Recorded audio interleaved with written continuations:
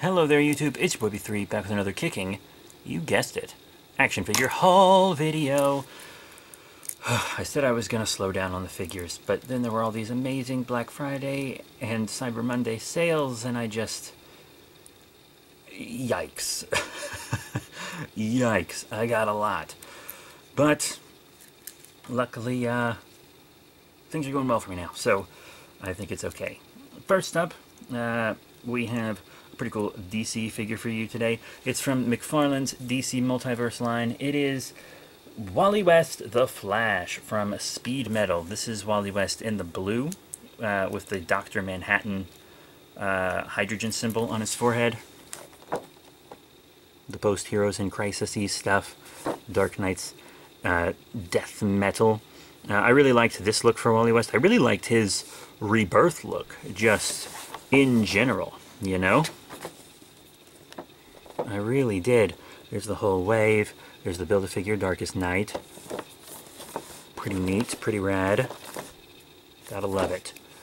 But, yeah, that's really cool. And they probably just, it looks like they probably just took the same body mold from their Walmart exclusive Rebirth Wally West Flash. Maybe gave him a new head and a new paint job but it seems like he's mostly the same, maybe even the same accessories. That's fine though, because it is mostly a recolor in the comics also, so it's fine.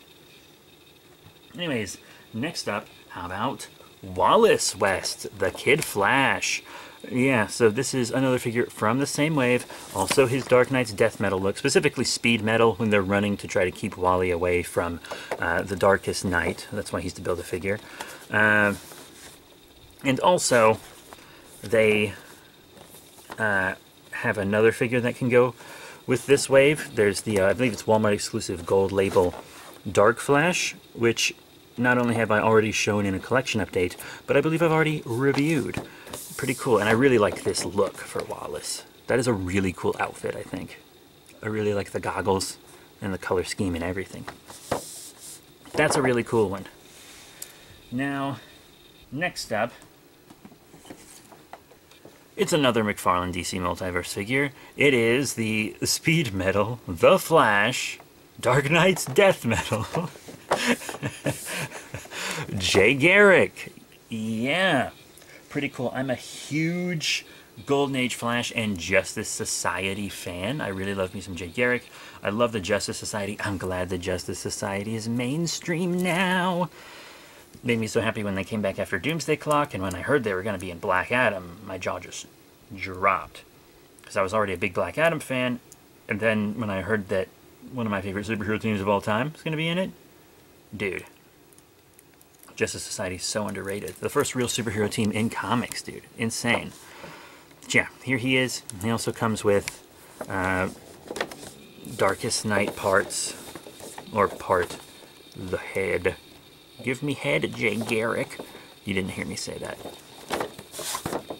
But yeah, he's pretty cool. And I'm glad McFarlane will be releasing a kind of classic Jay Garrick also that I'm going to get for sure. I love my Garricks, dude. Love it, love it, love it.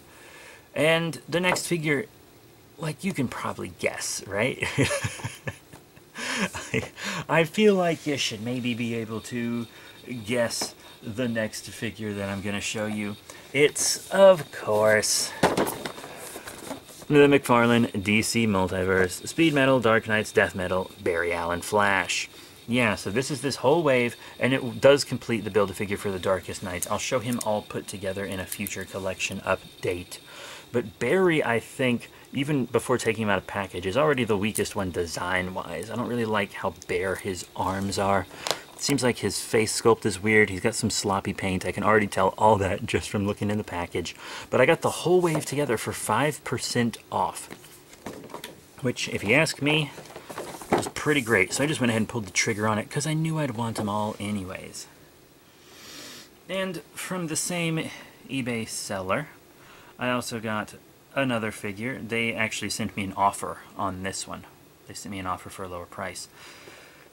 And it is Batrocitus, also from Dark Nights Death Metal. This is one of the Dark Batmen that works for the Batman Who Laughs, who would become the Darkest Knight. I believe it's an Atrocitus turned Batman and not a Batman turned Red Lantern. I think that kind of seems to make more sense. He's got that thicker build. He's got the alien features on the face. He's got the big old claws. Uh, I didn't read all the tie-ins for death metal like I did for, uh, you know, normal Dark Nights metal. Because most of the tie-ins for Dark Nights metal were kind of like an important part of the story. But a lot of the tie-ins for death metal just kind of weren't.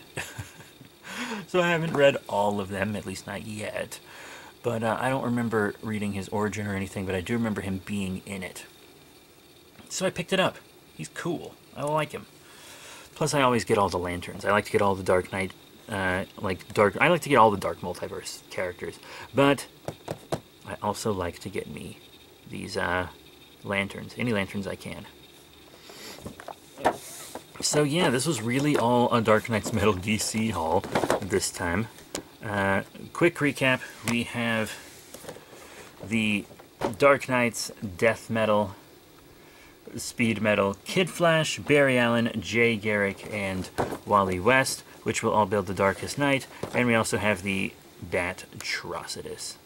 Very cool. So that is it. Thank you all very much for your support. Remember to rate, comment, subscribe. Check out all the cool links in the description below, Facebook, Twitter, etc. And I will be seeing you all, you guessed it, next time. Bye for now.